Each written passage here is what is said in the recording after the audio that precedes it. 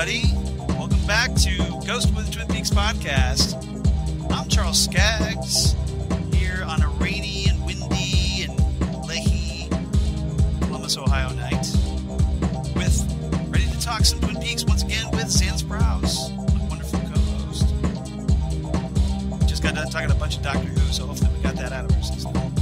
Yeah, we're we're primed to be nerding it up tonight. How are you doing, Charles? I'm, we're, I'm good. I missed talking to you. We had a skip week last week, but we're Yes. back and we're going to talk some Twin Peaks. So We're back with a vengeance. back with a vengeance. So We're back on the farm, Ghostwood, on the dead dog farm. Ghostwood with a vengeance Ghostwood. With Samuel Jackson. so speaking of that, did you see Captain Marvel? No. What? Did I what? Did you see Captain Marvel? I, of course I saw Captain Marvel. I haven't got my review up yet. I'm gonna. I'm Ah. almost finished with it. But yes, Oh. Samuel L. Jackson's really good in that because we get to see young Samuel L. Jackson thanks to the wonders of CGI and a decent special effects budget. Yes. Well, I think honestly, Samuel L. Jackson doesn't look that different. He just has different hair. Well, he has You give him some one. hair? He has hair for one, You And can he- give him some hair and make sure that it's black hair and not like salt and pepper hair. right?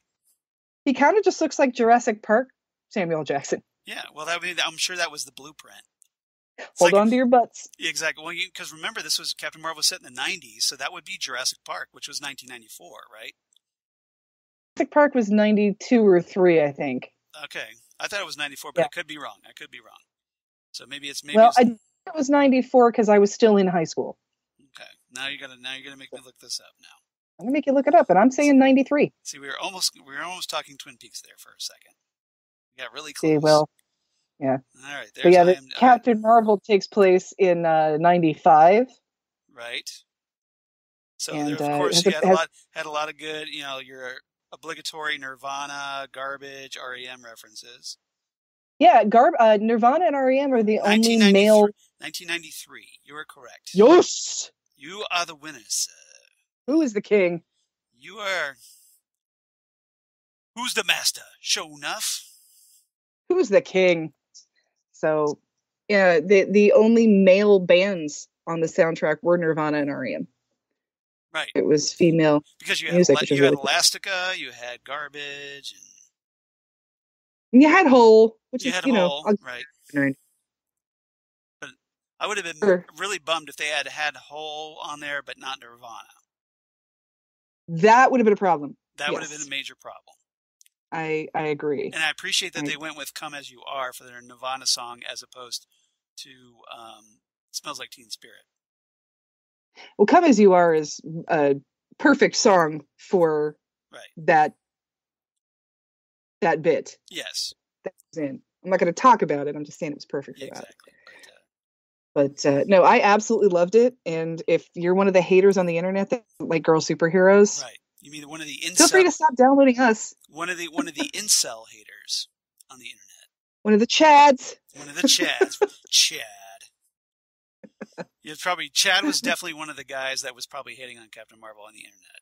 See, that's the weird thing about us is that in our world, like the Chad is is the the horrible person, but to the Yeah. the Chad is the guy that gets girlfriends. Somebody so needs to make that a meme that Chad was like, you know, trolling on the internet about Captain Marvel from his jail cell, from his jail cell. Yes, it's like Captain Marvel was the worst Marvel film ever. exactly. It'd be so great. See, we kind of tied it into Twin Peaks. We got there. Yeah, we, did our best. we did. Our We best. tried. All right, so here in episode fifty-two, we're going to talk about Dead Dog Farm. Dead Dog Farm. All right. So Dead dog. dead dog. So uh, yeah, so hopefully, if you're you know like my wife and you're, you're very protective of animals, you won't be offended by the title "Dead Dog Farm." There are no dead dogs at Dead Dog Farm, as far as we know. Well, as they say in Twin Peaks, that Dead Dog Farm is named after sort of a, a legend yes, that yeah, actually, the have- best and the worst of us are always drawn to a dead dog. right, And, you know, the worst of us will, the rest of us struggle in between. they'll, str- you know, yes, only those most with of us turn away. right. The, the worst of us will turn away from the dead dog, and the best of us with the pure Purest of heart. field yeah. its pain, yeah. and the rest of us uh, struggle somewhere in between. Right. So, So. So yeah, it doesn't really have anything to do with the dead dogs. thank you, Irene Little Horse, for that. Yes, Yeah. So we'll talk about her. Realtor. We're going to talk about her in a minute. That see that, realtor. that that's that, that's like, like a really be a really weird spin-off series. Irene Little Horse, real Twin Peaks realtor. You know, Yeah. so, selling all, selling all these weird properties with like that have sordid histories and and strange other dimensional connections. Well, this is the Briggs house. Now, occasionally you're going to disappear if you Right, live here, Yeah, you might end up And- going through time, but and uh, there might be a vortex The- or something. your haunts the place. So don't even think about smoking in here. Right. Now, this is the old place, and is your name Chalfont? Because if it's not, I can't sell this house to you. Right. No, well, you well, what if it's like um It can be Chalfont or Tremont. That's it. Tremont, yes, exactly. It could be Yeah. Tremont, could be Chalfont, but anything else is right out. That's that's it. That's it. That's it. That's fine. Now, this is a lower property. It's a plot of land at the trailer park, Yes. and the guy who runs it don't ever ring his doorbell before 9 a.m. That's the one thing you need to remember living here. exactly. Well, you figured somebody had to sell. They had to sell the trailer park after um, Carl. Carl died. Rodd passed away. Yeah, sadly, somebody had to buy that thing. I hope somebody's still feeding them at the trailer park. Right. You know, Who knows? Maybe um, people selling blood for food. yeah, maybe Becky took it over. Carl Rodd. Who knows? Yep. All right. So, uh, but yeah, we're going to talk about this. Uh, this is a a storyline that took place over the course of four episodes, some of which we've already talked about, but only other segments, of course. Uh, this Mhm. started in uh, December 8th, 1990, with Dispute Between Brothers. Then it carried on the next week with Masked Ball. And then uh, Black Widow, as we jumped ahead a month for the next episode of January 1991. And then it finished up a week later and Checkmate on January 19th, 1991. So, and the reason we're not doing these individual episodes is because they are a little too jam packed full of storylines. right. They're kind of all over the place.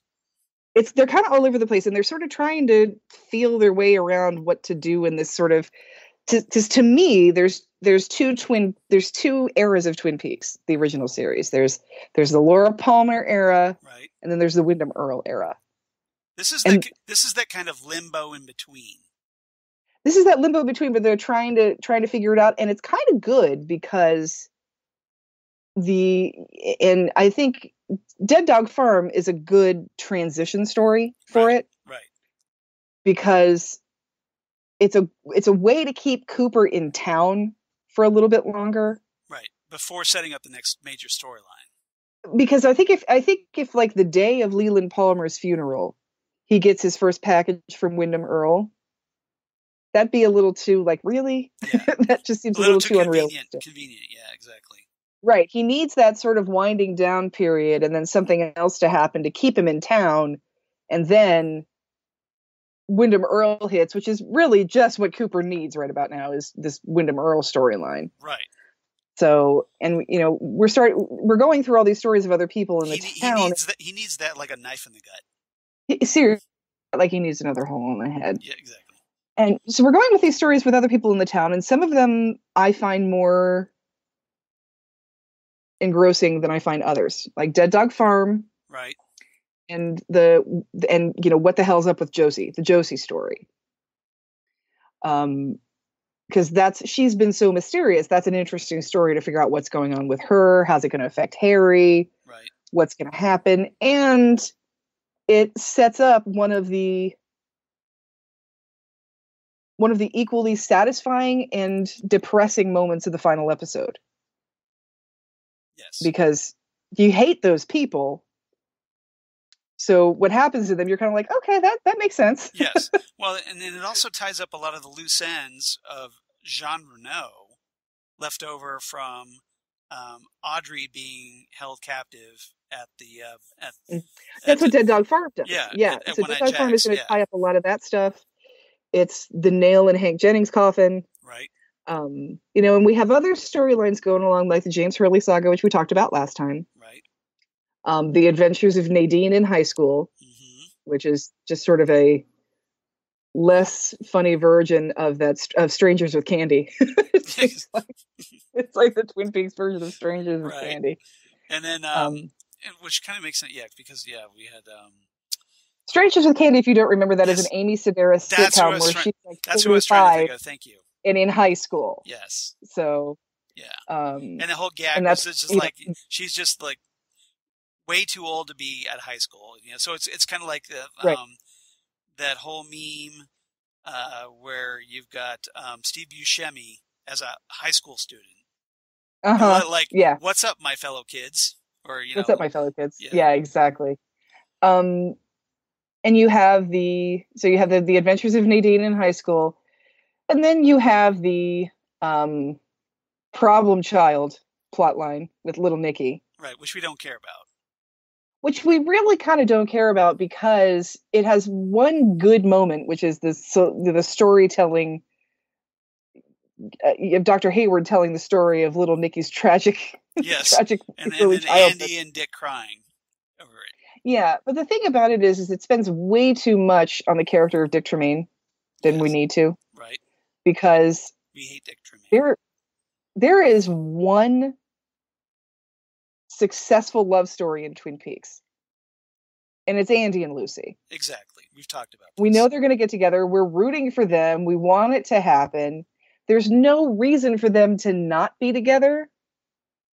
You know, except Dick Tremaine, which isn't really a reason. Dick Tremaine is a complete and total goofball. Right. There's no reason why he should It's- be taking that away. Dick Tremaine is just essentially the result of Lucy being indecisive about what she wants. Exactly, but the re- but I don't want to see more Dick Tremaine. So yeah, the little Nicky storyline is Yeah. completely boring, and then we had Um, we, we had the disappearance of window of uh, Major Briggs. disappearance of Major Briggs, and then we have the descent into madness of uh, Ben- Ben- and Ben and back. And back out smelling sweet on the other side of Benjamin Horne. Yeah, Ben Horne Civil War that we have. So, we yeah. get it. Just want to say it's the Pacific Northwest. Why the Confederacy? It's it does seem like a rather uh, odd. Um, That's just how crazy Connection. he really is. exactly. Like Yeah, maybe he was maybe he was watching Gone with the Wind the night before, and it just burrowed somewhere in, deep into his subconscious. Who knows? Who knows? Yeah, Or- who knows? or, But hey, it's symbolism of the Civil War going on inside his brain. Yup. Yup. So this go. is a so this is sort of a, a Cooper segue. This is this is something that this is a Yeah. thing that Cooper has to overcome in order to deal with the Windom Earle story, which is I think a wonderful storyline.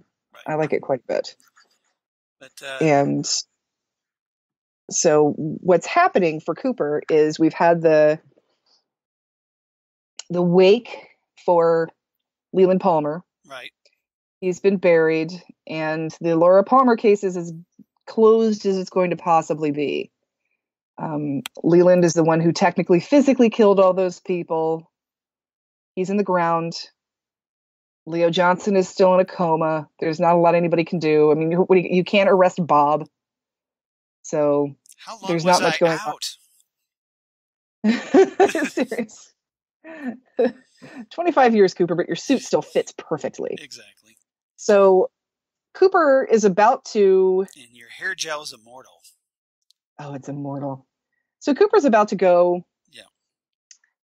fishing with Major Briggs Right. one last time before he leaves town to There's- go back to Washington D.C. or Philadelphia. I think is it Philadelphia that he's at?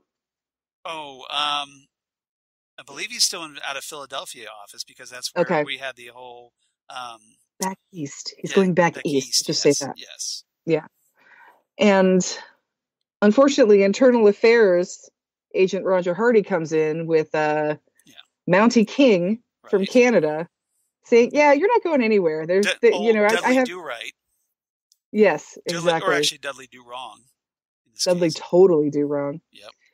And he he says, "Yeah, you're kind of not going anywhere because the Canadian government has told me all about how you crossed the border, killed some people at a whorehouse, and stole the cocaine they were using in a sting. Oh, and by the way, you're Because of- suspended from the FBI. And give me your badge and your gun." Yes. Yeah. So you're suspended from the FBI because Mountie King says that they had been doing a sting operation to try and catch Jean Renault for like the last two years. And Cooper comes in and blows everything. And then all of a sudden, the thing they were using for the sting has gone missing. And they suspect Agent Cooper. Right, Oh, because nobody else Cooper- could have stolen the cocaine. It had to be Cooper. Yeah, there's no what this town is not like not like this town is full of cocaine runners. had to be the like guy that. with the exemplary FBI record. Exactly. Exactly.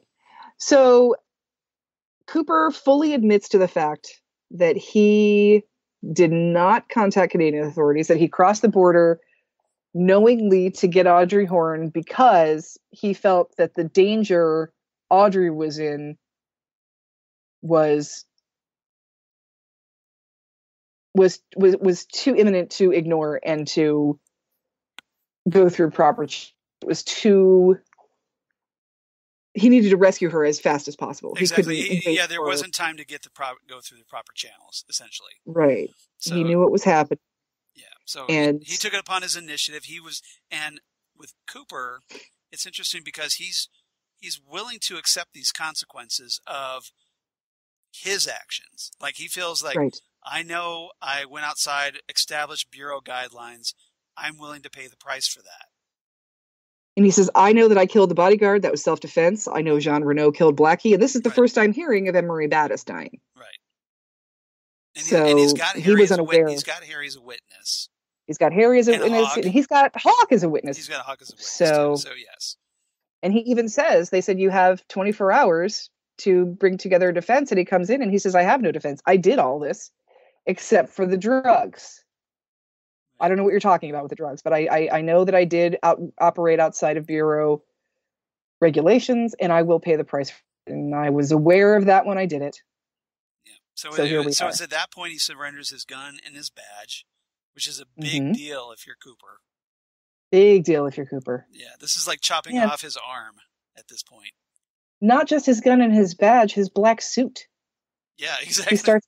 He has to trade in his black wearing- suit for red plaid flannel and a fisherman's jacket vest. Yeah, like khakis and flannel is what he turns it in for. Which Albert Rosenfeld says is fashion suicide, but somehow Cooper makes it work. Exactly. So, so I, and I think it's funny that you know he's here he is he's all decked out in the flannel and he still has his slicked back hair with the hair gel, oh, great. which complements the look it's perfectly, right? Yep. So, Looks but very here's the very thing. outdoorsy. hmm He's still very outdoorsy. He's still he's still totally roughing it. Yes, that's So, roughing that's roughing it for Cooper. Here's the thing about this whole this whole accusation Right. is that Mountie King is working for Jean Renault as one of the drug runners. Dun dun dun. Dun, dun, dun, dun. So Jean Renault and Mountie King have put together this little motley crew of drug runners, including Hank Jennings and Ernie. Those respectable fellows. Uh huh. You know. Norma's stepfather. So this is this is you know just looking at the cast of characters is not going to end well, No, So- exactly. So right? so basically they're going to the shady of the shady. Right. And, so that so, cocaine so we have, so we have this little we have this little conspiracy essentially Yes. here. the cocaine that's missing have it and they need to raise about $125,000 and so somehow they're going to be selling this cocaine. Right. So they have to they have to figure that one out somehow. And in, because of the drugs being involved, this is going to involve the DEA. Right. So so yeah, so basically we find out we get a in the next episode, Mass Ball, Gordon Mhm. Cole calls in to It's Gordon, It's Gordon. Gordon Cole. Gordon Cole. So he calls to Coop, you have my full support. And the DEA is sending down a top dog. Yep, a top dog So who Cooper knows right, as uh, Dennis Bryson, right. DEA agent. Things have changed though since Cooper knew Dennis back in the day. There's a Yes, there's that a is bit of true. there's a Uh, bit of a status update regarding Dennis. Bit of a status update regarding Dennis. Dennis prefers to go by Denise now Right. after real after coming to a personal realization during a sting operation where he had to where they were selling drugs to a guy who only wanted to deal with transvestites. Right. So as part of the sting operation, he's the one that dressed up a woman and then realized how much more comfortable he was Yes. that way. And just started doing it all the time and became Denise Right. Bryson. Oh, and, and should we mention that? Oh, by the way, Denise Bryson's played, of course, by David Duchovny, By David Duchovny, as in who Fox Mulder. David as in Fox Mulder. Yes. yeah. um, who has pretty much the best legs I've seen on film since Betty Grable. He does. He does, And and he it was a good color on him. it is a great color on him, and those those are. I think he waxed himself for this That's, role. that He was does one of my, that was one of my favorite Hawk lines as, I- as I was job. going through this this rewatch, where Hawk said, you know, like he's introduced to Denise for the first time. Mhm. He's like, it's a good color on her. All matter It's a like color. which for the, The 90, which for the which for the nineties was actually a pretty progressive comment. That's about this. It's it's extremely progressive for 1990. This episode because there's not. Well, De- eh, well, Denise is First of all, Denise is essentially like the first major transgender character, right? I don't even know if Denise is trans. I don't even. Yeah, she's Well- transgender, she's Well, well, at this point, she's essentially Even like- she's transsexual. She hasn't really she's not even like transitioned. she's not even like she's transvestite for sure. right, But they don't even know what to call it at the time. right. It was Because this now is, this is before the term transgender, essentially. Right. We now now we know that that somebody who does not identify gender normatively Yeah, with the norms that are assigned to their chromosomes and or genitals right. is somebody who's considered transgender or gender fluid, that sort of a thing. But back then it was all transvestites and sex changes and Right. that that was all you had. I mean, and you didn't talk about it. Like the the only person I knew They had transvestites and cross-dressers. That was basically and it. Yeah, and that was about it. And then you had and anybody who went from being male to female or female to male is somebody who and we just said they had a sex change is what that is what it was called. That was the term we used. And for years, the only person who I had ever known about for that was Wendy Carlos. For years and years and years. And then it was Chaz Bono. right. And now it's something we talk about all the time Yes. because we're finding terms for it, we're finding definitions for it. People are starting to um I don't want to say the term think outside the but they're, they, they're becoming they're they're, becoming aware. they're starting to allow themselves to not be defined by their physiology. Right. And so They're not. people they're are talking just. about that. They're not just being classified into little specific groups anymore. Right, exactly. Exactly. So but that wasn't a thing that much in the 90s and if and if there was somebody who had a sex change is what we called it back then it's like you never really talked about it. And everybody was never sure like do we say she, do we say he? Um and what's fun about the Denise character is that everybody around her is just so very accepting and she's very yeah i love talking about my experience ask me any questions you want to ask me Right. because she's very open about it and so it's So yeah, Um, so yeah, Denise was very yeah, just this for the time period was just this Mhm. amazingly ahead of her time character. exactly and the only the only thing we'd ever seen anything like denise bryson at the time was klinger and klinger was right. But Klinger was just wearing crazy. dresses just because he was trying to get out of the army. he was trying to he was trying to seem crazy and get out of the army yeah exactly so It's, it wasn't it's, it's even not like he was identifying as a woman. He was just like, I'm a guy wearing a woman's dress to get out of the army. look at me aren't i nuts send Yeah, me yeah, home whoa, and that yeah, yeah. That was the thing back in the 70s if you were a man dressed like a woman you were crazy you know or you had It was a gag, essentially. yeah it was a gag or we had famous drag queens like like divine Right. that kind of stuff but again that was very sub- divine was a very subversive crowd you know that that john waters crowd that was not very mainstream back in 1990 No. if you ask the uh, t- still to this day if you ask the average person who's who divine is they can't tell you Right. So it's not, you know, yeah, it's like Is that somebody Is that was in that De- dressed ate poop in that one movie? Yeah, that's who divine was it. that somebody that was in Destiny's Child? but um so yeah it's it was again and i can't say it enough that we have the television that we have today because of twin peaks Yes. Again, this denise is, bryce is an example of that yeah, this is yeah, this is exa- You're right, exactly. This is a perfect example of just like how innovative Twin Peaks was back in the day, Mhm. and still Yes. is essentially.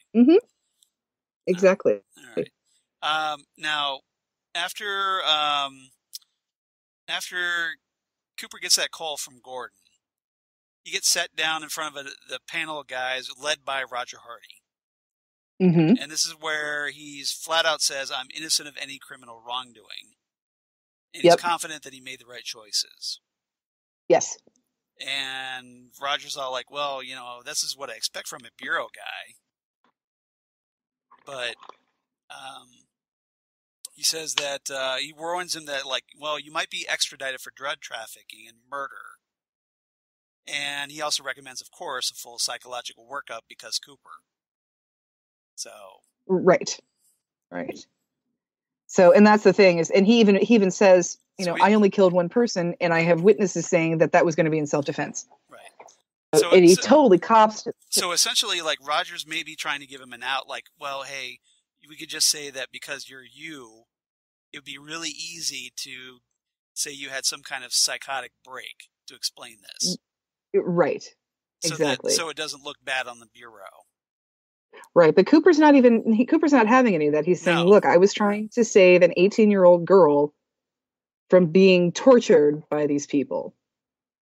You know, I did what I had to do." And Yeah, he's not. He's not making it easy for Roger, to say the least. no, He's not. No, he's not. path. Cooper has an exemplary record, and he's not he's not losing his temper. He's not getting emotional or anything like that. He's very confident in what he did, and he knows that he didn't take those drugs. Yeah. So he's like, "Look, we'll figure that out." But you know, it's not. uh You kind of have to wonder even if you kind of have to wonder if Albert, what Albert would have been like in the same situation. oh man, that would have Albert would have can been you in the imagine. Albert versus you know Hardy at that point, at that moment? that is that is a battle of wills that is That's like a an atomic bomb waiting to go off. Would have been, oh my god but Yeah, it would have been such. It would have been such good television. oh man but even you know even when denise comes in and says you know cooper did you do it? he's like i you know i think i'm being framed. And so he's talking about it with her and he's like yeah it smells like a, a standard frame, up coop but i'm going to need something more than just your opinion. And so that's when they start to figure out that they're going to need to they need to find out where the drugs are in order to exonerate cooper. Because we're not sure we're not quite sure who's framing him yet they're not quite sure who's framing him yet so it's probably jean renault who is kind of taken over at this point. and it's been a bad week to be benjamin horne Yes. because benjamin horne started off being arrested for the murder of laura palmer and the only way he could get out of that was to have catherine martell tell the police that he spent the night with her instead of killing laura palmer And to do that, he has to only, oh, gee, sign over Ghostwood and the the Packard Sawmill back to her. and the sawmill back to back to so, catherine martell so all this, his big investment plan went away. Mhm. He, he was accused, lost his some Right. social credibility.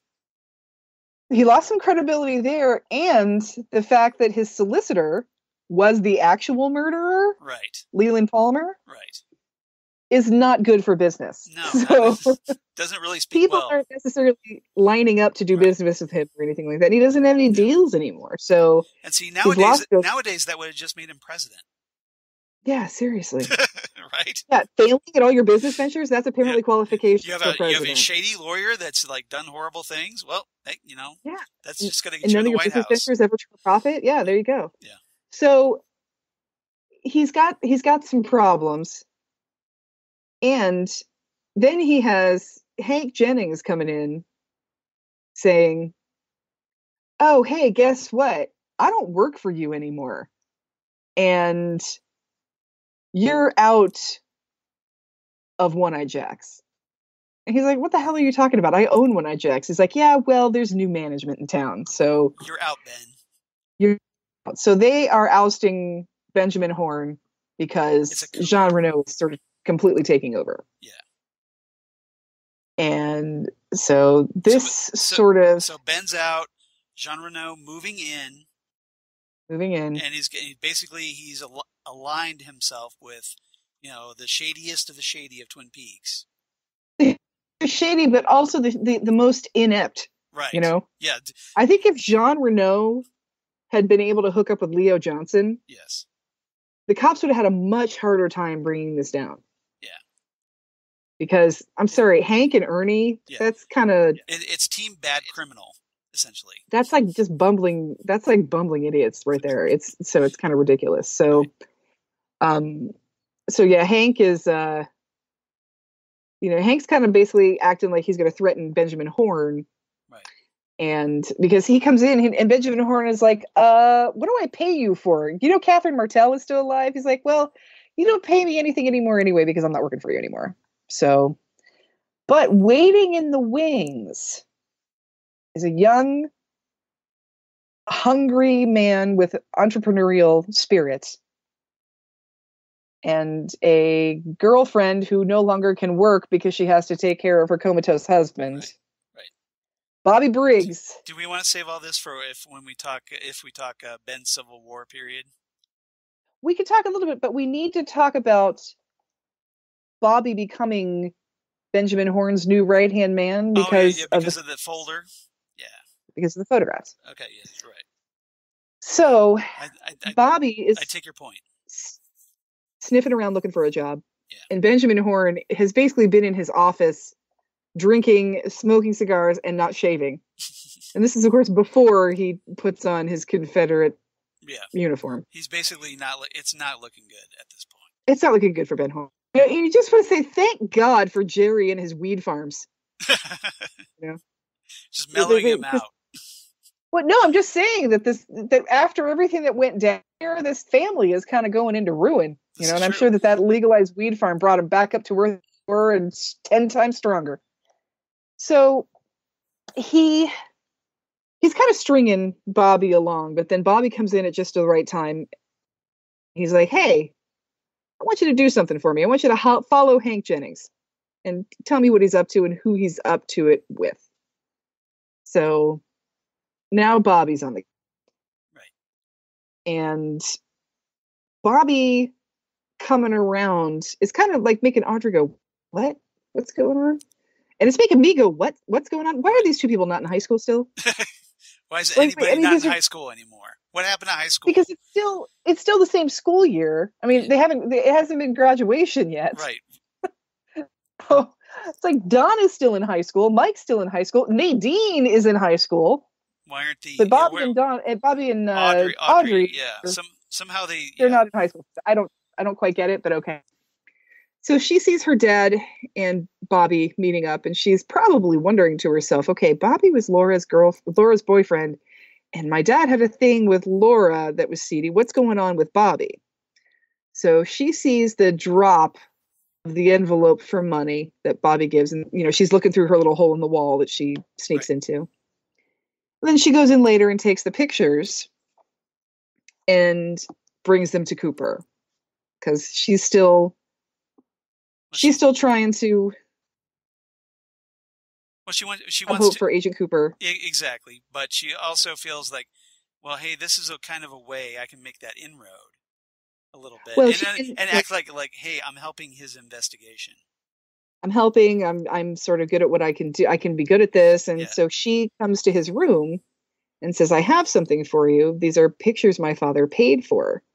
Cooper looks at them, and that's when we find that's when Cooper finds out that all these four guys are working together, and that's when he finds out that Mountie King is in on this. That's Exactly. that's how Cooper learns about that. And Denise is there, so- by the way, at this point. I'm sorry, Denise is there at this point. In not just yet. Well, not- no, not in- no, no, well, see, Audrey visits Cooper, and then Denise enters after. Well, but after, but yeah, but but uh, uh, when she first shows him the photos, Denise isn't there yet. That's true. And so he says, Audrey, you just may have saved my life. She's like, Did I do good? He says, You did better than good. You may have saved my life. And she said, So I guess we're even. So, And then she which, kiss- which is a then she- line of Audrey's I really like. of course she kisses him on the way out. yeah, she kisses him on the way out, but but then uh, Agent Bryson comes in, and Audrey is totally enthralled by Agent Bryson, and she's like, "They have women agents," and Agent Bryson says, "More or less," and so that kind of inspires Audrey, and you know, she says to she says to Cooper, you know, in a few years I'm going to be all grown up, and I'm going to I'm going to have my shit together. Yep. And I'm going to come find you, Dale Cooper. And you know this this whole speech she's giving is just making me want to start to cry because I know what happened. right, exactly. It does, obviously doesn't turn out that way. You would think Audrey would have been inspired and went on to join the FBI and become a full agent. Yeah. No, that's not what happens. No. And it, I would have loved it if if Tammy Preston had been Audrey. That would have been super cool. Oh yeah. But you know, she's a little too involved in the case. I think it probably wouldn't have happened. But well, that, yeah, that would have been cool. Like if if Audrey had changed her name or whatever, and just she didn't, didn't want to associate with her father anymore, so she invented something. reinvented herself. Yeah, something. Or just went, you know, went to the FBI and became something major and then came home to investigate this. Who knows? But Right. so she kisses Cooper on the way out. And then Cooper tells, you know, Bryson that he has this new evidence. He's like, "Yeah, whatever. How old is that girl?" Right. And this is this is one of my favorite lines in Twin Peaks, which is why I want to talk about it. Yeah. And he says, he says, Denise, I didn't think you would uh, still be interested. He's like, you know, I may be wearing a dress, but I still put my pantyhose on one leg at a time. If you know what I mean. That's a good line. And then Cooper just says, "Not really." but I love that. I may be wearing a dress, but I still put my pantyhose on one leg at a time. If you know what I mean. Well, that just I kind of just kind of shows that even though, yeah, he he is a transvestite, he still is essentially straight as far as romance goes. Exactly, and that's you know that's a thing that Like he's still attracted to women, even though he dresses as a woman. right, and that's another thing that now today is more common knowledge that just because you don't identify as your physiological gender, Right. That doesn't necessarily mean that you are all of a sudden the the the the, the like if you go from being a man to a woman Right. you don't become automatically you don't become just like a woman that uh, Yeah. likes men you don't become like a a lesbian when that happens. you don't become like a straight woman necessarily Yeah. who likes men or a gay man Well, it's like you can identify as a woman but still like women Yeah. or you can identify as a woman and like men it's like being being transgender doesn't mean you're lesbian and being a lesbian doesn't mean you're transgender. I mean so it's like that's more of a common knowledge these days. But back then it was like oh that's a woman now so obviously they like men. It's no that's not how it is. And, but, and again, it's it's Twin Peaks being a very progressive show. Um, right. and this is their funny because- little way of explaining that not everybody's that way. Yeah, it's just like just because you know you have this guy who, you know, wants to dress like a woman doesn't make him mean that he's gay.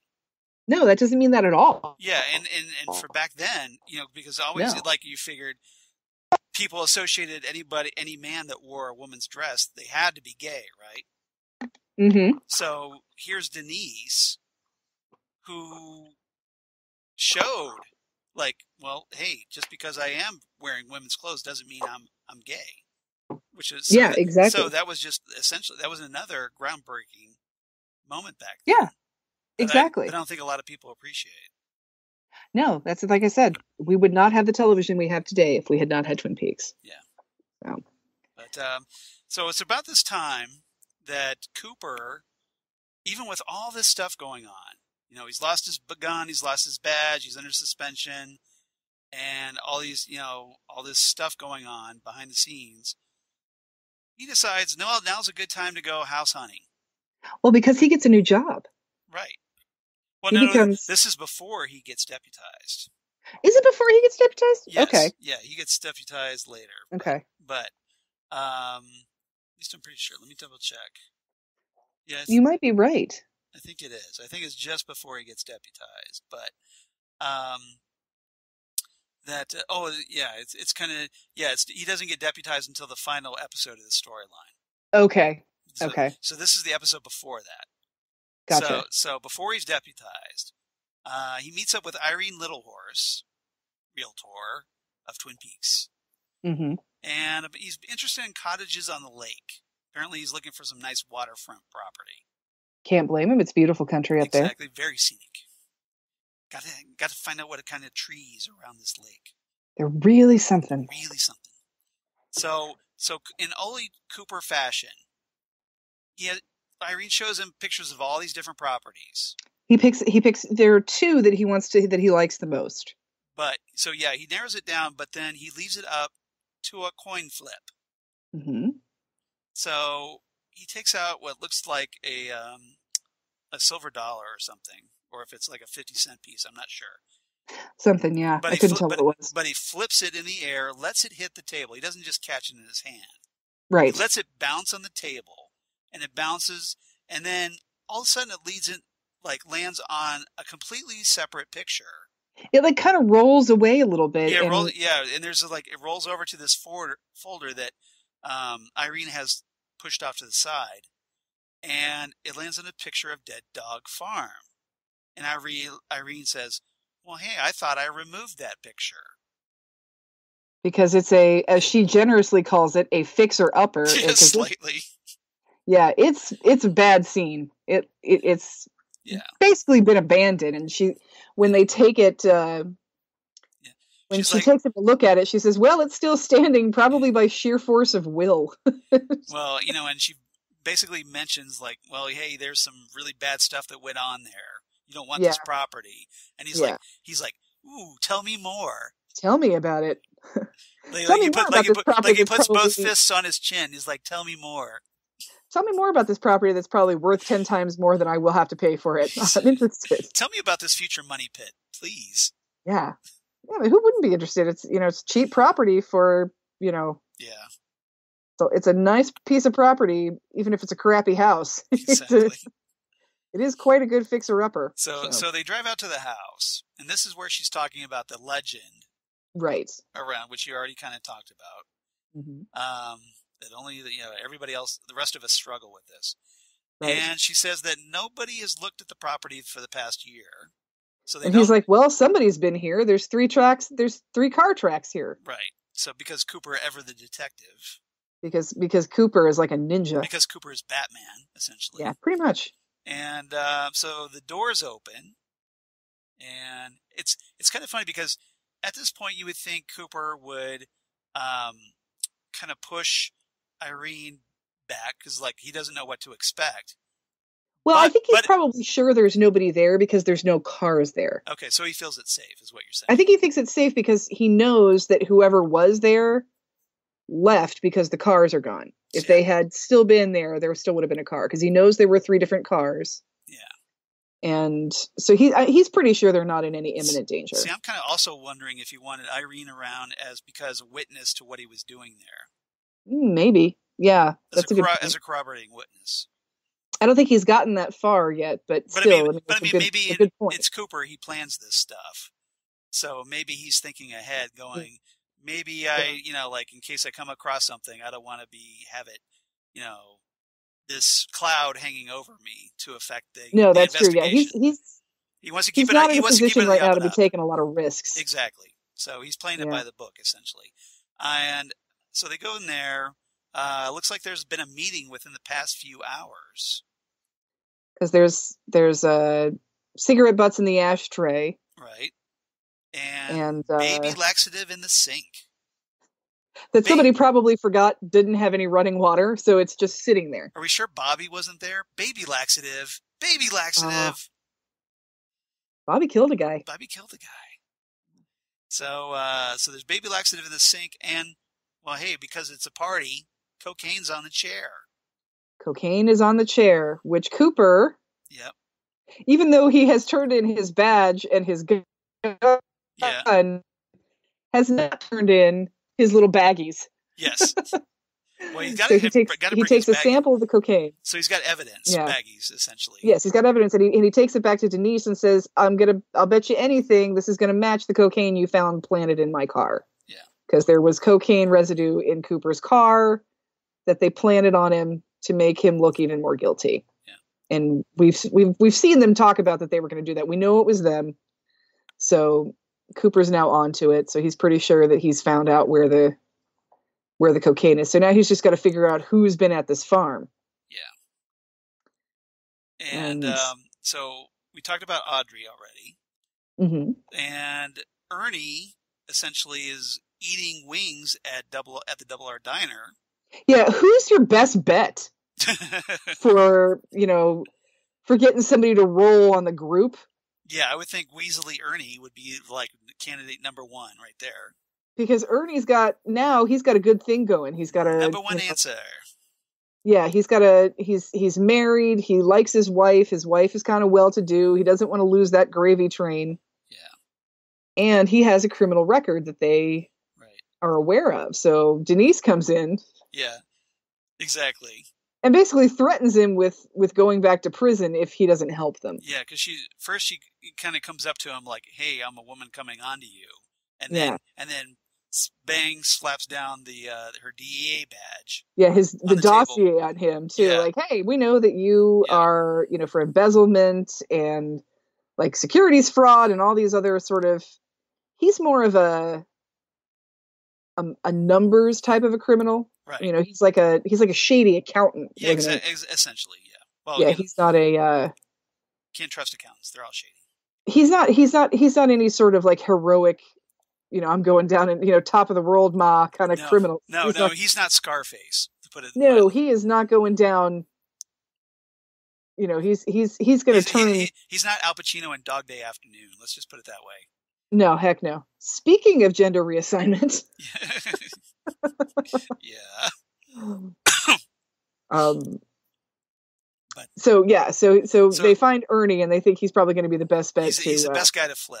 On, to infiltrate exactly Yeah, so- exactly Um, so he's all like, you know, like, hey, you know, you guys, what am I like? I love my wife, okay? You know, like, you know, these guys, I'm, I'm just a coward, okay? You know, i'm a coward don't make me do this yeah. so, so in the final episode, they get back to the sheriff's office, and Denise urges Ernie to make a phone call to Jean Renault. Jean Renault and say, "Hey, Yeah. because what they're still trying to find somebody to buy Yeah. that hundred twenty five thousand dollars worth of cocaine." And, and, So- and Ernie, of course, is waffling on this. He's just like, Yeah, well, I don't know, you know, you, you know, Jean, you know, the, Jean's a very dangerous guy or whatever. And Denise basically calls him out, says, well, you know, she, Cooper comes in and, and Denise says, well, you know, Ernie's a little gun shy, yeah, using that exact word. And Uh-huh. Ernie's just like, well, what do you, what, what are you talking about? You know, gun shy, that's not me. Uh, no, here, give me that phone. I'll take that. Here, I'll call him up right now.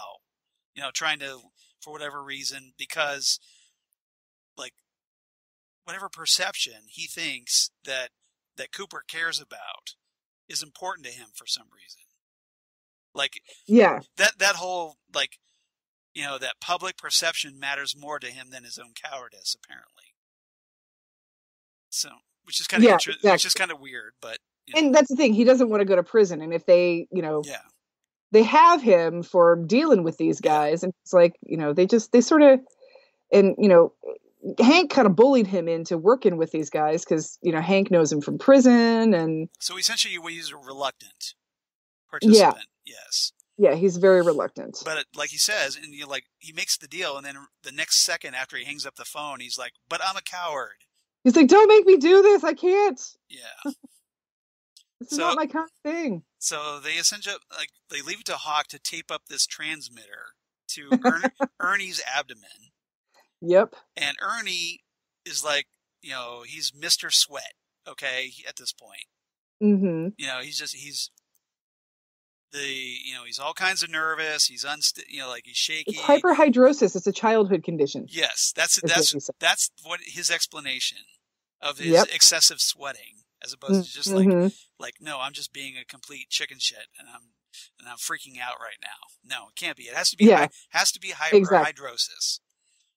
So, and he talks, Yeah. starts talking about his Korean War experiences. It's just like you know, Yeah, shut up, Ernie. exactly. so, um, so they run through the plan, And the plan is to take Denise to Dead Dog Farm to meet Jean Renault. Mm-hmm. And um, at this point, this is where Truman deputizes Cooper. Oh, okay. Yes. And he pins That's deputy badge number 13 on his Number chest. 13. Yep. And um this is this is after making him a bookhouse boy. Right. So So so yeah, essentially he's he's part of the secret club. he's he's part of he's part of the Twin Peaks, you know, group of uh merry bandits basically now. He's basically joined the Elks version, the Twin Peaks version of the Elks or the Moose. And no, uh, it's much it's it's much more secret society than the Elks, you know. I know, they, I uh, know. They're cuz the the bookhouse boys are like even But I- though Harry is one of them, they're Yeah. kind of like vigilantes. but my point is that Twin Peaks doesn't have like the Elks or the Moose. They would have to have That's a secret true. Yeah, because they it's Twin Peaks. yeah. They would have to have a secret That's society. yeah, they don't there's no like Twin Peaks Shriners Club or Exa- something. exactly. It's nothing that normal. Is my point. No. Uh-uh. So so at this point, Denise enters, but dressed as Dennis. Totally 90s douchebag outfit too with like his hair slicked back like kind of pulled in a ponytail. Right. Yeah, and he, he is rocking the the uh, the ponytail, the bro, yeah. the brony tail. the pony knob. Yeah Yeah. oh he's and he's so gross. Perfectly perfectly looks like a like a like a drug dealer. So you thought you thought he looked hotter in, in women's clothes than than oh the- yeah. Heck yeah. Yeah not not in that 90s douche outfit. That's that was that was pretty terrible And so, um, so they go to Dead Dog Farm. You got Trooper and, and Truman and Cooper uh, watching everything going on from the far back, you know, with binoculars because binoculars, bad, bad binoculars. hmm And Hawk's listening in over the the radio through that wire that Ernie has on his chest. hmm which So it's comically so it's essentially Twin Peaks version of the wire. Yeah, kind of. But it's sort of comic, you know, the the the uh the wire on Ernie sort of comically shorts out because Right. he's sweating too much. Right, exactly, because he's sweating like a pig. Yeah, they start commenting. I was like, "Why is this guy so sweaty?" He's like, "Oh, it's Do you know your, hyperhidrosis. do you It's know a your shirt? Do you know condition." your shirt is smoking? And then the shirt starts smoking because it's it's shorting out on him. Right, right. So that And totally like, "He's that wearing a wire," and so then they yeah, jig is up. the jig is up. So they take Ernie and Dennis as hostages, Right. and they So so Hawk tells Cooper that and Truman that the wire's dead, and then they they basically um, uh, Jean and uh, Mountie King yep come out and say that um, you know like we're gonna make a deal or you know like you know like I'm gonna use these two as hostages, basically using them as human shields. Hmm essentially. And Cooper offers himself up as trade. Like, That's the like, thing. Like I'm the one you want. Take me. Let them go. yeah let them go and i'll come in there and we'll we'll deal with this Right. which is you know because jean renault is who cooper wants in the first place Right. and, And it's totally in character for Cooper to just give himself up like that. oh it's totally in character for cooper to just give himself up like that so you know there there's a standoff that lasts like you know hours. And uh so they're trying to figure out it's it's it's cooper jean renault and mountie king are still left in the house. And they're trying to figure out you know how to how to get out of this. And you know he's like he's like what are they just going to let us go? He's like yeah if you surrender. And he's like well you know Well, if you notice, they rough up Cooper a bit they do rough him up a little bit because we, we see that some time passes. Basically, it goes from the the afternoon into the evening.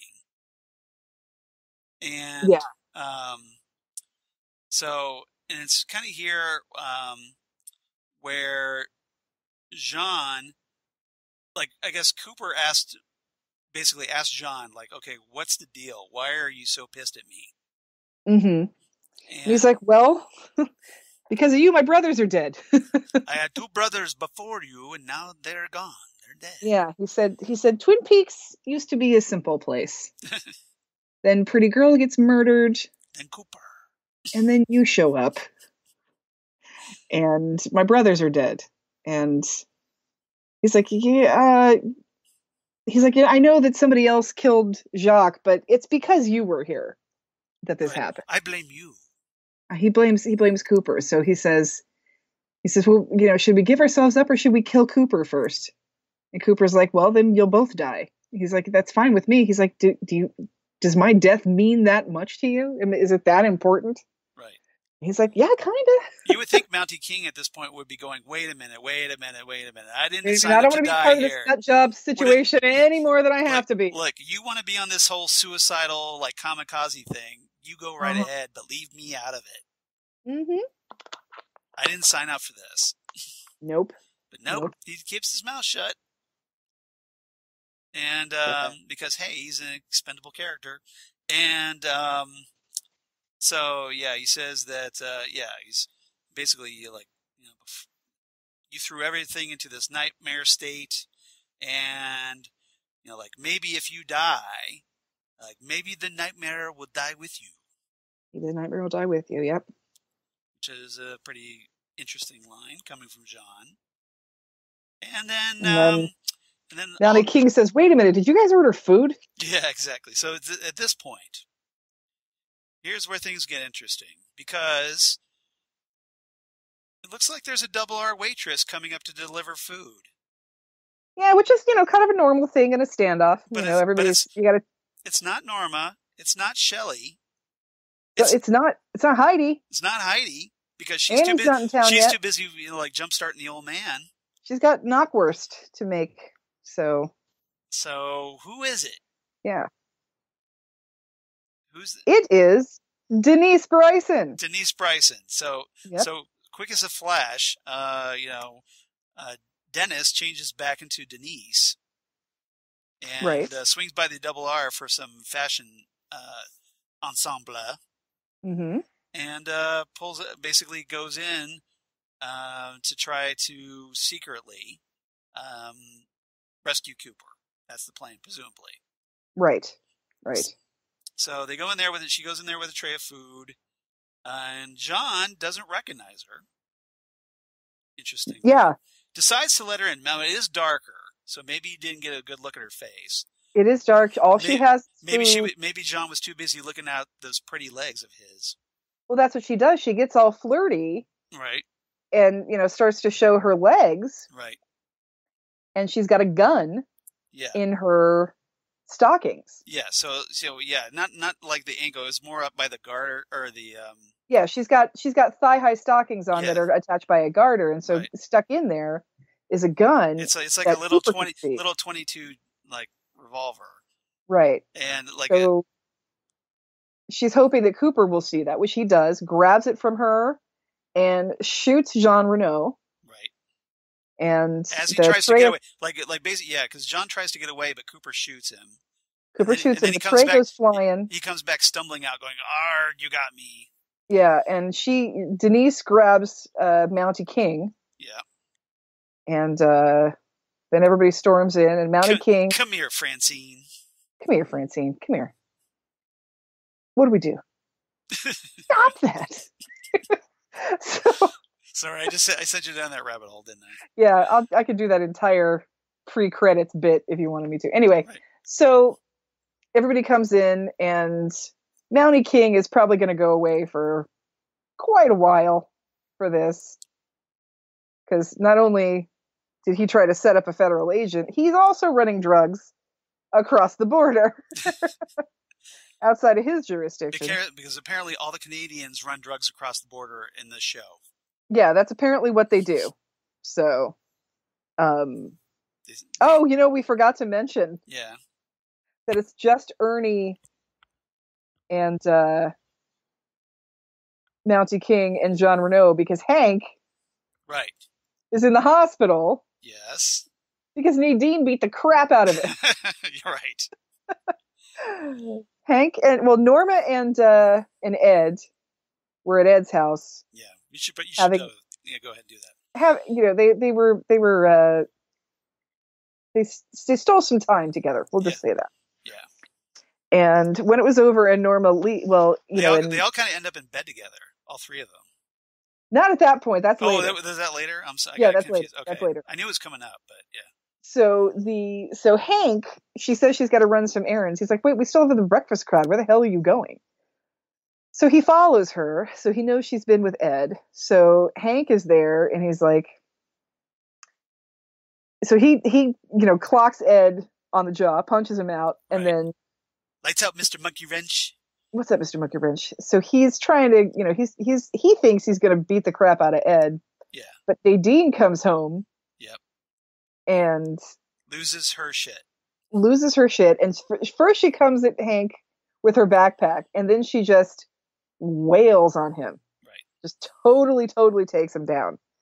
And um, so later on, Beats the dominoes right out of him. beats the dominoes right out of him. So later on, he tells, I think he tells the police that he was hit by a bus, yes. and then he tells he tells Norma right. that a tree fell on him. So he's like he's like doing everything. little he little conflicting stories there. Yeah, he's doing everything he can except say that Nadine beat the beat the living Right, snot. because he's totally embarrassed by it. Yes. Yeah, so he's yeah, so he's in the hospital, but because that they because they know that he's in on this, thanks to Ernie and the photos. Yeah, he's busted. His parole is basically violated here. Yeah, and because they know from Shelley and Bobby, Right. they know mostly from Bobby that that's who tried to kill Leo. Yes. They've got him on attempted murder charges for Leo as well. So yeah, he's going to jail for a long time after So this. guess who's going back to prison? Guess who's going to prison? Prison. So yeah. Dental plan. Oh, Do not start me on I that. went no. Don't don't As soon as that came out of my mouth, I'm like, "Oh, you idiot! You should have." Yeah, that's you that's just- that is just- five That's minutes. like that's like opening the Pandora's box right there. that is five minutes and Lisa needs braces. Battle plan. Anyway, um, so yeah, Hank Hank is out for the count, which is awesome. Yeah. So finally, Hank gets taken off the board. So yeah, Hank's out, and uh, I wonder what hap- what what happens to Ernie? Does Ernie just leave town and go back? Um, no, here's okay. So here, so here's the deal. Okay, so um, so that's kind of where we kind of leave off with Ernie. Although, as we find out in um, Twin Peaks: The Final Dossier, right. okay, so in exchange for his cooperation in the investigation, you know, because he was willing to wear a wire or whatnot, he gets cleared of any wrongdoing. So he's basically scot free. They've worked Yeah. the deal. He worked the deal. He goes back to Seattle, finds that Vivian had moved out and filed for divorce. Yeah, exactly. Mm. So after that, Ernie ends up reverting back to a life of crime because, hey, it's Ernie, and he ends up in bankruptcy, poverty, Aw. poverty, and alcoholism.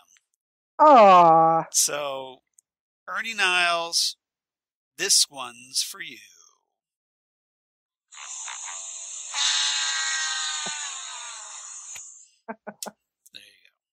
Awesome. Couldn't happen happened to a nicer guy. Couldn't happen to a nicer guy. So yeah, yeah, we never really find out what happened to Mountie King, do we? No, we don't know a, a thing what happened to him. Presumably, you know, you know, we figure well, we know that Coop, we know that Coop, Canada's problem. exactly. So we know um, later, um, five episodes later after this one, uh, Gordon Cole returns from Bend, Oregon, and reinstates Cooper into the Federal Bureau of Investigation. So they take That's another right. five episodes just to get Cooper back in the FBI. Right. Well, it's, and and this yeah. is and this is where Cooper gets his Smith and Wesson 10 millimeter model 1076. Mm. So rather spiffy. so yeah. So Cooper Cooper. is uh, you know, he's he's he's exonerated himself and he's been cleared of any criminal wrongdoing. So presumably Mountie King was busted for this. I'm I'm assuming he was if, if. Cooper yeah. was cleared, that means Mountie King was incriminated. Presumably. Yeah, exactly, exactly. So, so Cooper's all right, except there's still two Somebody's big problems. somebody's going down for this, Yeah, there's still two big problems going on in Twin Peaks. which are First of all, Cooper's starting to get mail from uh, Windom Earle, which is a problem, right. and we still haven't figured out who shot me. Right. Yeah. So Fibers from a vicuna coat. Yeah, oh, which you know had to go to the cleaners at some point. This is true. That's very very true. Yep. So uh, so yeah. So lots of other stuff going on with all this. Yes. But uh, that's basically the Dead Dog Farm saga. Which I have to say. Yeah, it's it's very short. I mean, they get in, they get out. Not like with the James Hurley saga, which felt like it was dragging on forever because we were doled out so sparingly here, there, and then along the way. Exactly. Exactly. This one's boom, in and out. Main, you know, they get it done and they start driving into the uh, Windom Earle storyline. Exactly. Exactly. Because the Windom Earle starts. Windom Earle starts coming in.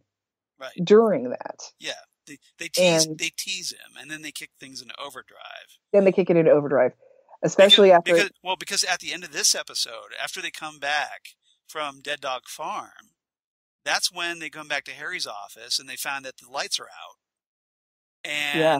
and windom earle leaves them a little present in the form of a dead body tied to a chair pointing to a chessboard a dead transient Yes. pointing to a spot on the chessboard. Yeah, exactly. the, the windom earle's next move Yep. or opening move i should say hmm So he, so yeah, Cooper Cooper is definitely staying in town for a while. He might as well right buy that house, frankly. Um, but what I like about the Dead Dog Farm storyline is, to me, it's totally worth it for Denise Bryson. Yeah. I love that character. well I love David Duchovny.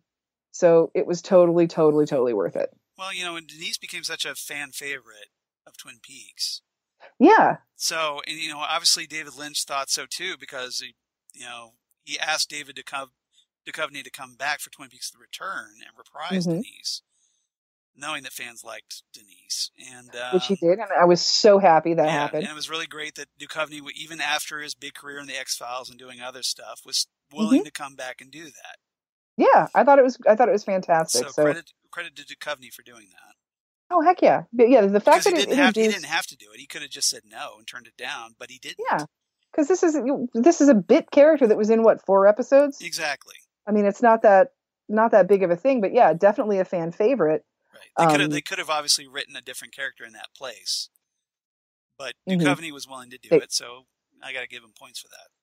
I I do too. I think it was great, and and looking back on it now, Yeah. The fact that it only took four episodes for Cooper to be okay Right. is great. Right. That's what I'm saying. This this storyline is very nice and tidy. Yeah. You know, it, it get it does its thing, you know, it just it doesn't drag on forever. Nope. And so so as a result, I think it's much more effective than obviously the James Hurley saga. Well, in the James Hurley saga too, it's like that doesn't Well, and you also it also helped that you had characters that you cared about more. Like, and that's the thing is I you cared about, about you cared about what happened to Cooper. You cared about, you know, like is Jean Renault going to get finally taken down? yeah, you want to know what's going to happen to Jean Renault. You want bad things to happen to Hank Jennings. Exactly. You care about Cooper. Now I care about James too, but at the same time, the end of Dead Dog Farm has a payoff. That's that's great. You know, the, the bad guys get their comeuppance, Yeah. And Cooper's okay. There's a resolution. There's closure. Yeah, but at the end of the James Hurley saga, James is okay, but he but he drives off into the sunset, and is James Yeah. is well. James is not okay. James doesn't go to jail, but he's still not okay. He's Well, still very he's- tortured. Well, as we find out from Twin Peaks: The Final Dossier, he becomes an exile essentially. yeah, and that's that's the thing. So he it's, lives in no. lives in exile, and he's trying basically has to struggle to stay out of jail. It would be one thing if you know this whole situation with Evelyn had brought him back home to Donna and he tried to figure out you know you know he, he recognized the good things in his life and he tried to figure out how to you know put things back together and where to go from here something like that. Or if he'd had if it had given him some sort of purpose but it really wasn't much of a good payoff. Plus i didn't know evelyn and what's his name so i didn't care what happened to them like i didn't care if they went to jail or not or you know and then the I wasn't even all that upset when they when um Malcolm, you're talking about. Yeah, Yeah. yeah. And when the husband died, it's like I'd seen him for like you know five minutes. I yeah, he was. Yeah, he was only in one episode. How invested could you be in this character? you're not necessarily inv- so. Even though he was an abusive husband, and you know, believe me, I love to see And- abusive and- husbands die. in And, and we never but- actually got to see evidence, physical evidence of that. We just Yeah. we're going by what we heard. Exactly. So it's not like, you know, I didn't care enough about him to feel super excited about the fact that he was that he was dead or anything like that. So it just it wasn't as much of a payoff as Right. this was. Right. So But yeah, this one gets in, gets out, and you get closure with it. So that's good. mhm, right. Exactly. All right. Anything else about the storyline you want to talk about? Um, no, the only other thing I wanted to mention was uh, Gavan O'Herlihy. Oh yeah, yeah. Well, that was I was going to do some trivia bit. So go ahead. You you can do that one. Gavan O'Herlihy, who Yeah. played Mountie Mountie King, Right. Yeah. who I'm sure everybody Preston, recognizes. Preston King. That's his first Huh? name. Preston is his first name. Preston, yeah. I just like saying Mountie. Mountie's funnier. Yeah. Exactly. You know, I, I love the Mounties. They're the they're uh they're the most fashionable Right. of the uh Looks so dapper in those red uniforms. of the federal of the federal uh, police departments in, right. across the world. Right, the So Royal Canadian Mounted Police Officer. Preston Yep. King. Yes. so um I'm sure most of you know most people our age remember him as Brad from Superman three Right. or uh Or as Jack, Jack- Petachi. Jack Tashi from uh from um Never Say Never Again Right. where uh Right. this is this is this is what heroin's going to do to you kids if you're so addicted to heroin that you are willing to have an eye transplant Right. Exactly. So that you can To- go to help into Spectre steal nuclear warheads yes. That's an that's eyeball well, transplant that's commitment. that that eyeball transplant did you hear what I just said Yes, I know. That's commitment. That's what I'm saying. that is yeah that's pretty bad so So Um, yeah, and so obviously son of Dan O'Herlihy. who is Andrew Packard Exactly. So keeping Like- it all in the Twin Peaks family here. yeah so we've got father and son acting in the same show with no scenes together which I thought was interesting I know, right? that's kind of cool You think they would have at least one scene together? Yeah, you would think that they would just like cross paths at the double R or something So, like or that. you know, yeah, or at uh, Great Northern or something. That just yeah. Right, right, exactly. But so nope, nope, not not at all. Now there was a, one other trivia bit I want to talk about. okay, Uh, so Agent Roger Hardy uh huh. is played by Clarence Williams III. Linc Hayes, baby. You got it. You can, so best known as Linc Hayes in the TV series The Mod Squad, Mhm. which also starred. I think that was Peggy Lipton. I think you're absolutely right. Mm-hmm. So, exactly. So, So, nice so essentially, Norma was in the Mod Squad with Roger Hardy mm-hmm. Yep. and the Candlestick. But anyway, And he, you know what else he was in? what? He's Prince's father in Purple Rain. You're absolutely right about that too. hmm Good call. I forgot about Yeah. that. So, yeah, so cool. That's But very, uh, that's very cool. So yeah. again, so, we have like this Mod Squad reunion that doesn't actually happen. no, no, because yeah, well, no, no, they they did have. They, I mean, we, there's there was a scene where Hardy's in the double R, and I think Norma takes his order or something. Something like that, but it's But it's, it's, very really it's uh, really it's really brief. But I think they Yeah. do share one scene together. but there's no like nod to anything or No, anything no, like it's that. not no in joke references. yeah, it's just it's just there. We have this Mod Squad. Uh, Yeah. We have this Mod Squad reunion. yeah, this unofficial Mod Squad reunion. hmm So yeah. Yep. But I just thought it was kind of cool, so I thought I'd mention it. That is very cool. All right. Yep. Okay. So uh, let's see. So uh, if you don't have anything else, what's your rating for this one? My rating for this one is eight out of ten Bookhouse Boy patches.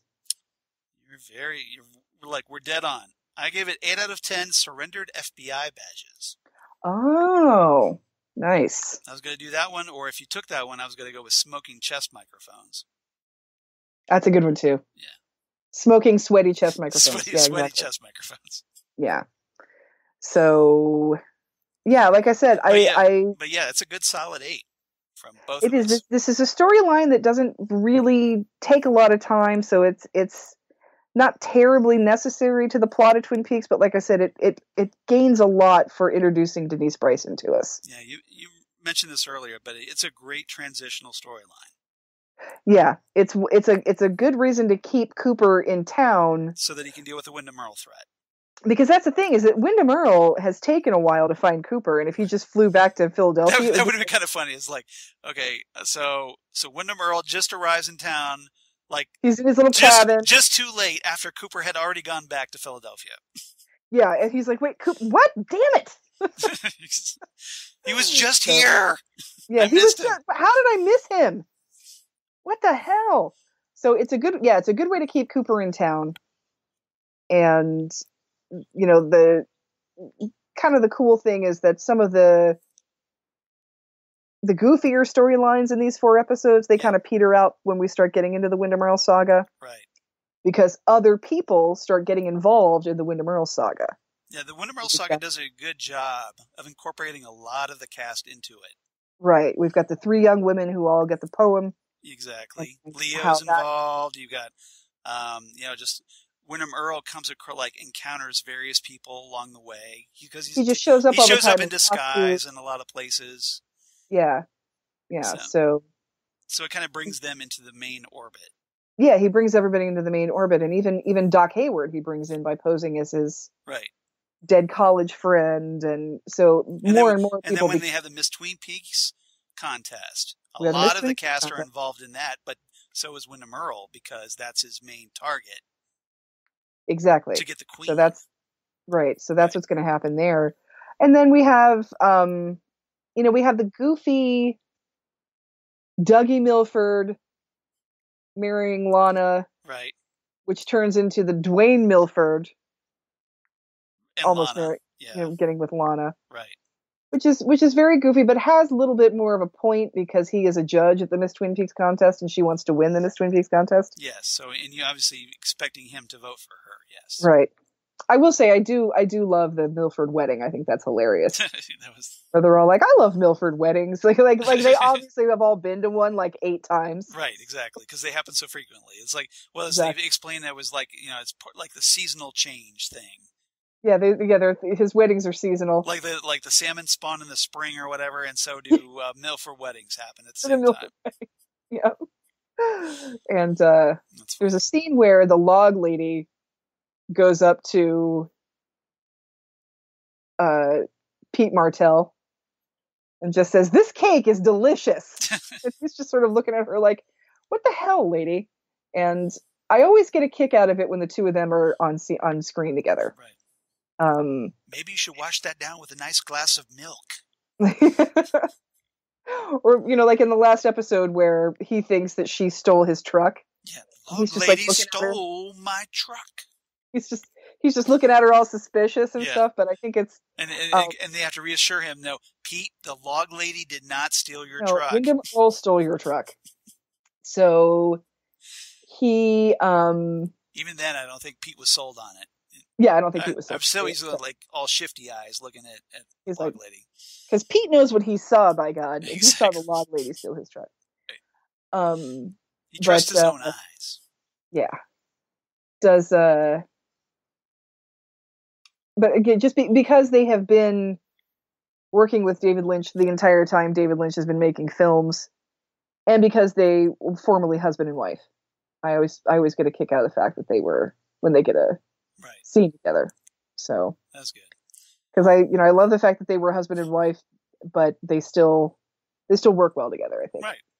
I mean, some, is- sometimes you know, obviously, there's that strain because you Mm-hmm. can't stand to be around that person emotionally. Well, sometimes you just can't be married to somebody. You're fine with them as a But person. but, you can't but be married to sometimes you know, there the divorces happen and people still remain friends, which is good. Mhm. That's the healthy way. Yeah, that's the thing. It's like because the one thing that made you not like each other was being married to each other. Exactly.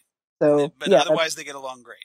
So, that's the thing. If you don't have to, if you don't have to be partners with somebody anymore, you can Yeah. be friendly with them. exactly. So, some people work better as friends than as, but uh, as lovers or whatever. So yeah.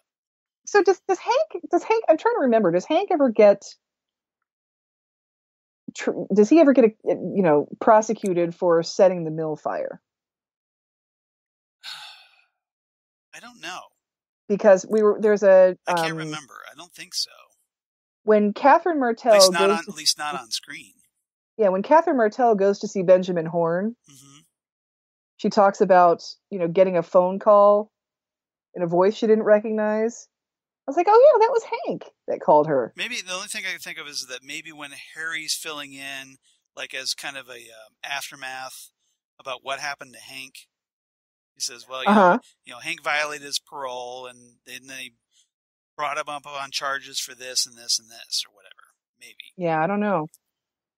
It's Yeah, but it sounds like it sounds like the only people who know about that are Ben Horne and uh, uh, Hank Jennings. So I don't know. Maybe Ben Horne, in an act of revenge, told the cops Well, Catherine had. I don't, you know. Catherine had to know about it.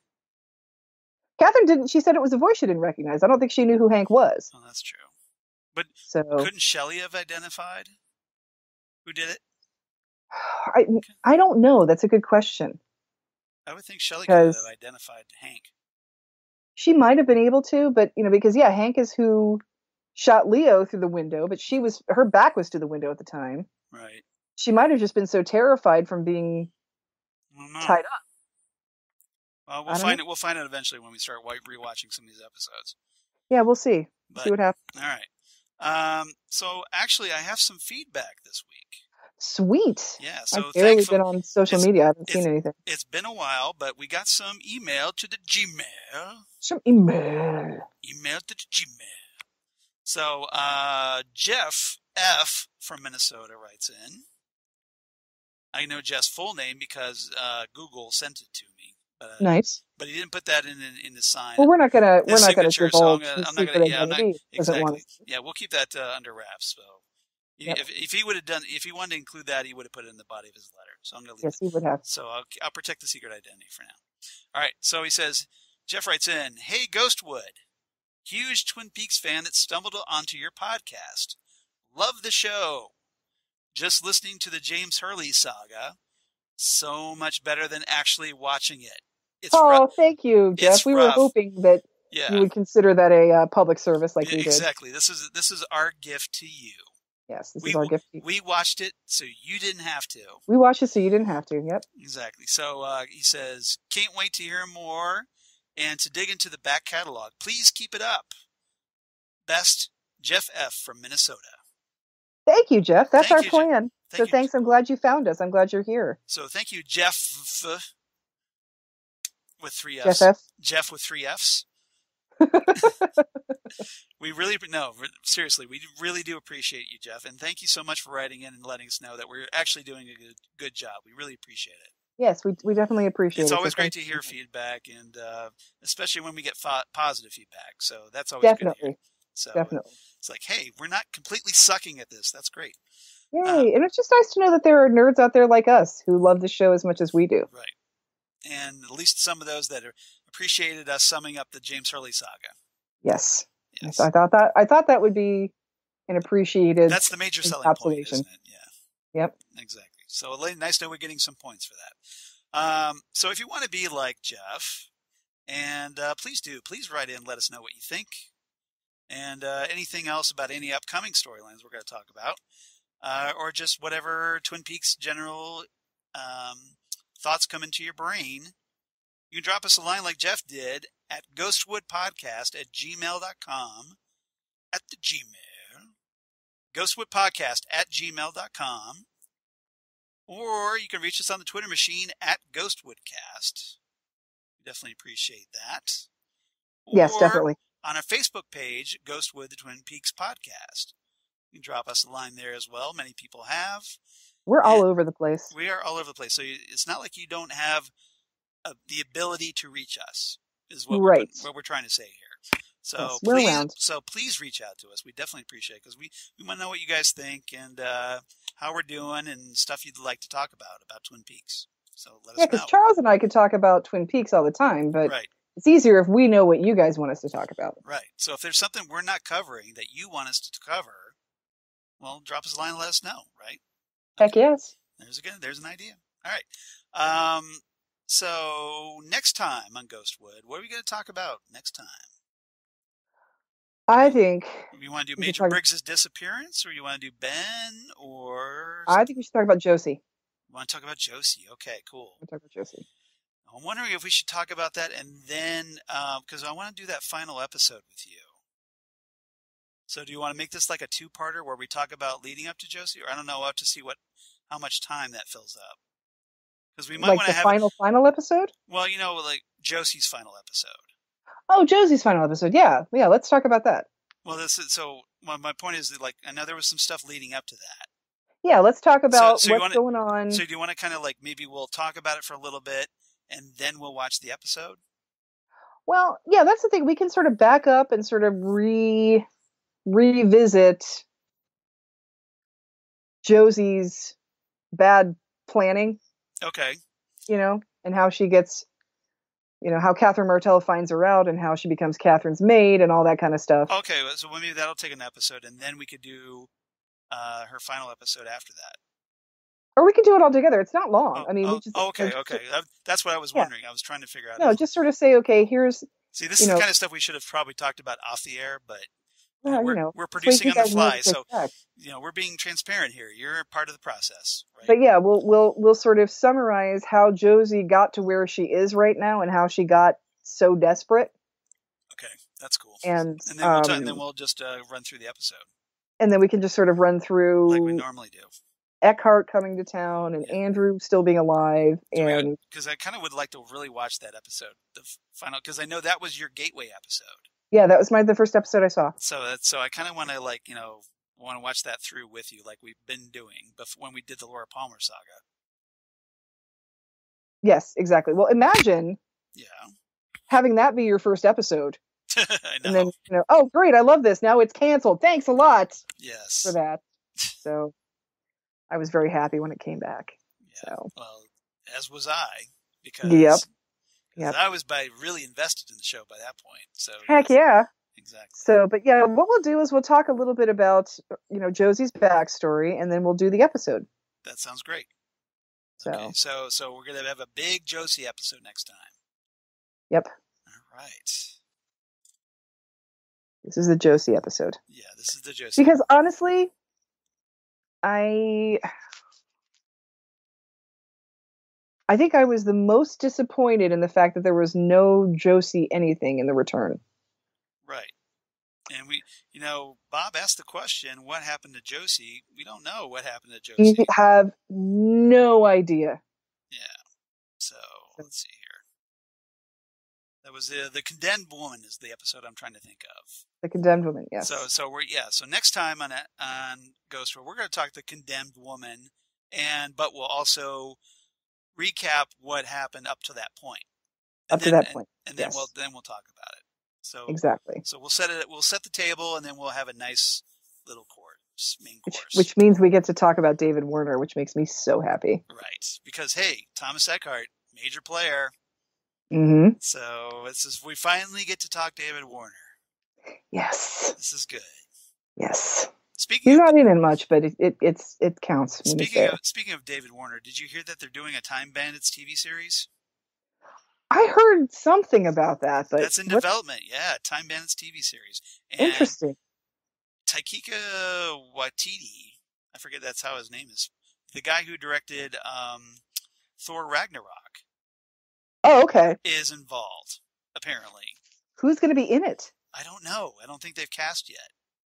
Oh, that'll be interesting. It's just very. They just announced it recently, so I'm. That- So might want to keep an eyeball out on that one Yeah. or Hmm. two. I wonder how that's gonna. It'd That has a lot. Time Bandits has a lot of heavy hitters in it. I know. So you know. the- so this could either be like a reinvention or expansion. I don't know how they're going to do this. Like, who's going to be King Agamemnon? I don't know. That'll be interesting. Hmm. s- some really. If I hope they do it right. I hope they do it justice. Yeah, seriously. I mean, are, you know, like are the, are the, the actual time bandits? Are they still going to be little people, or are they going to be, um, you know, full sized, or, or what? How's that going to work? Yeah, are they going to be little people, or are they going to not be, or is it just going to be a whole different kind of crew of guys, or is it going to be females? I don't know. Yeah. So I mean, that'll be it's that'll gonna be be really interesting. it's gonna be really interesting to see what they do with this. But Yeah. just, just something I thought I'd bring up because you mentioned David Warner, and of course David Warner was in Time Bandits. Oh, my absolute favorite devil on Yes. film of all time. Right. You know, Evil De Niro's pretty good. is evil. De Niro's pretty good, but but uh, David Warner's devil is pretty amazing. Yeah. Yeah. My favorite line in Time Bandits is a David Warner line Which is where he's talking about how you know he's better than God because he's more he understands technology and he's you know he understands you know the what's going on in the here and now and and uh and he says but him what does he do with his time 44 species of parrot i ask you love that 44 species of parrot i ask you it's been a long time since I watched that movie. I need to watch that. yeah i haven't watched it in years it's, it's no one seems so to broadcast it, so I never get to watch it. it's an it's another one too like I'm gonna you know stream that. again i still don't think 30 year old movies have spoiler alerts but whatever Yeah. um it's another one too like like uh, holy grail that just ends Yes. like. Just something terrible happens and the movie's just over well, I think that happens a lot with Terry Gilliam films. They just end. yeah yeah it kind of does well brazil though has an ending That's know, true. It it's a it's a depressing ending but it's an ending but at least. you know The Holy Grail just cuts, and yeah, the whole the holy grail is just kind of ridiculous how it just it just stops because well, because the film snaps, and supposedly that's the end. Right well they're it's like they're getting arrested by yeah, like, exactly. And the cameraman gets you know brought in, and so so they stop filming. yeah abruptly. Yeah. Exactly All right. yeah it's totally totally ridiculous Okay. So next and time, this one's like the kid is just left out in the middle of the street yeah, with no parents no house see ya Yep. sucks to be you. Bye. The end. see you later so But, but but uh Like yeah have you seen my time bandits map you have the map. I have the map yes um Give me the map. it looks like an old it, it looks like an old nautical star map Yeah. so i have it in my house like framed and looking all classy Oh, cool. it's a small version of it but yeah it's framed and it looks all classy Yeah. and uh so cool. it probably just looks like i'm into like you know Astronomy nautical or history or astronomy. but yeah it's a time it's a time That's- bandits map That's that's very cool. That's very awesome. Uh, I have to check that out next time. Yeah next time you're here seriously yeah All right. Um, so, uh, in the meantime, if you want to, uh, we talked about how you can reach us here at Ghostwood. So, Xan, where can they reach you on the interwebs? i am on the twitters and on the instagrams as udinax19 Yes. and i'm on the facebook as Xan Sprouse but i'm kind of not on there that much Okay. and You uh seem to be on but there more than Twitter. I, yeah, because I well, Twitter just I don't know. I'm on Facebook more because that's where my events. That's where I get events Yeah. and stuff. Right. So, um, my Twitter is also a little bit more personal, so it might be more boring for people. Um, I'm never bored. and uh, well, you're not a stranger. Oh, okay. I hope. Um, I hope not. but I but I'm also lurking around on the Ghostwood Facebook page. I go there. Excellent. I go there a lot. I just posted something the other day. What was it I posted? Uh, you put well. Oh, the uh, Bob's Burgers thing. Yes, the Bob's Burgers thing. Yeah, that was good. That was amazing when I saw it. it was a Bob's Burgers Twin Peaks mashup. yes, the Bob's Burgers Twin Peaks mashup. I was like, this is awesome. Yeah, I just Yeah. posted a thing about uh, Amazon's got a Twin Peaks store now. Oh yeah, I saw that. So I posted, I posted the link for that. I they could had, probably check that out. they, they had a, they had an Audrey shirt. Yeah, I know. I've seen those. The one that she's got like talking about know algebra. hmm Yeah, that one. Yep. All right. Um, so as for me, you can reach me on the Facebook or at Charles Skaggs in Hilliard, Ohio, or uh, at Charles Skaggs on the Twitter machine, or at Charles Skaggs on the Instagram, or my blog at Geeky Things. Damn good coffee and hot. Damn good coffee in the hot. Where I talk about all the stuff we talk about here on Ghostwood and kind of David Lynch stuff or news of my other podcasts, like Or say your review of Captain Marvel, maybe. my review of Captain Marvel, which hopefully I'm going to get finally finished tomorrow. it's been taking I like work has been dogging me, so I haven't been able to sneak away. And, I hear you. this Oh stuff. yeah, Yeah. So I'm trying to get this done. It's a battle going on, but I'm almost finished. Um, so hopefully tomorrow. So hopefully I'll have my review of Captain Marvel. Um, spoilers, I liked it. So right there. Uh, news of my other podcasts, like say Titan Talk, the Titans podcast, where currently Jesse Jackson and I are reviewing Doom Patrol, which is an Mm. outstanding entry by DC Universe.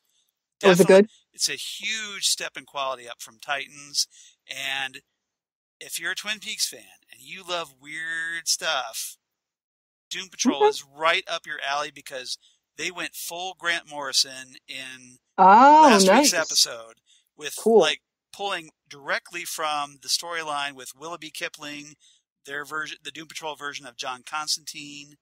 Wow. and, okay. And, and the Cult of the Unwritten Book. So it's right there from Doom Patrol 31 to 33. So they Hmm. went full weird Grant Morrison, and it's beautiful. Interesting. Highly recommended this show.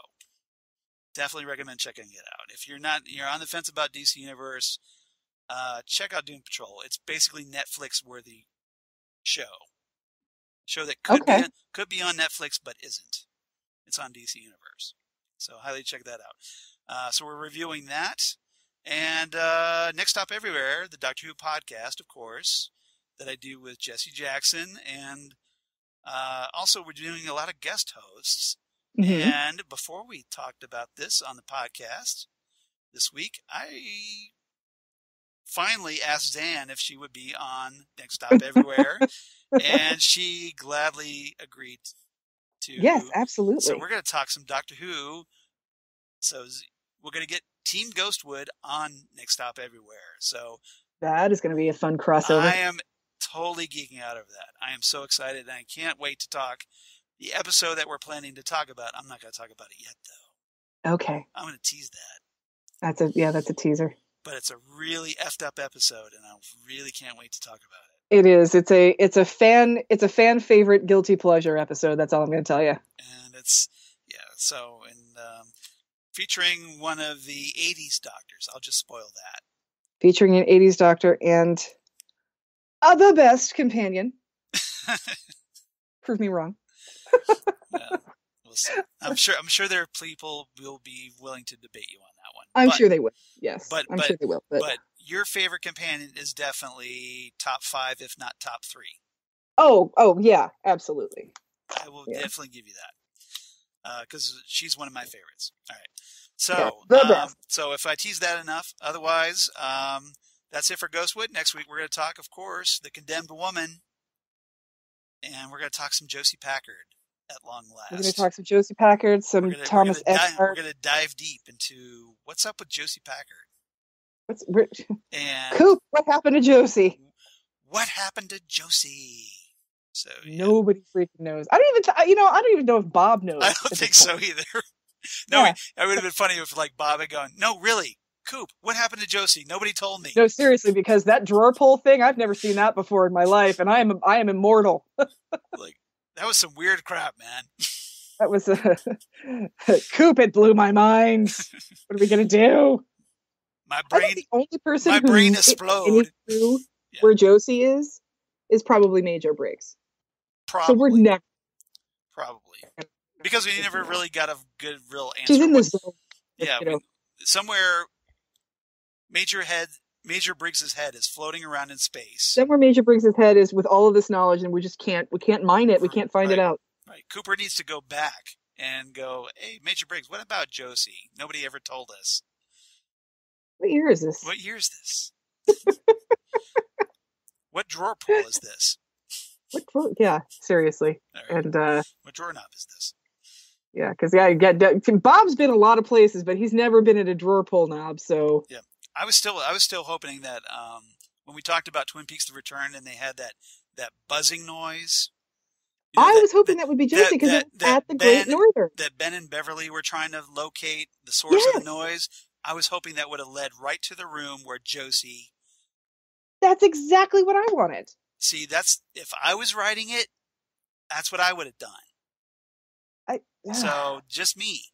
did they ever find out what that was?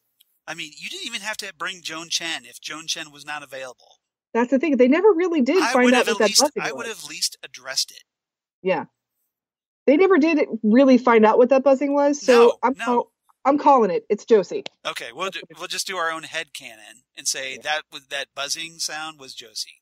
hmm That's what we're that's what we're saying. We're, and then we're you know until somebody tells us otherwise. That's it. Come come fight us, internet. Yeah, debate us. Yeah. Bring it. Debate debate me. oh yeah, seriously. I got my coffee cup. Prove me wrong. there you go. Seriously. Okay. All right, so everybody come on back. We're going to talk Josie Packard, and we'll see you next time right here on Ghostwood, the Twin Peaks podcast. Good night, everybody. Good night, everybody. Bye.